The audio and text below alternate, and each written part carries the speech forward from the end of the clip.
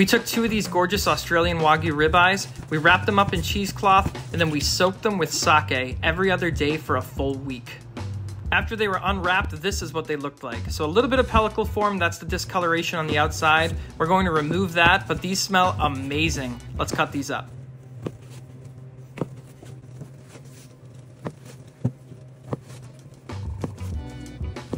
When we were cutting down this loin, we noticed that one side had a large eye of fat. We're going to remove that on these specific pieces. That's a huge waste for the customer, and these are marbled enough that they don't need that extra fat. Once we remove that fat, we retie the rib cap back up with the steak, and this is what they look like.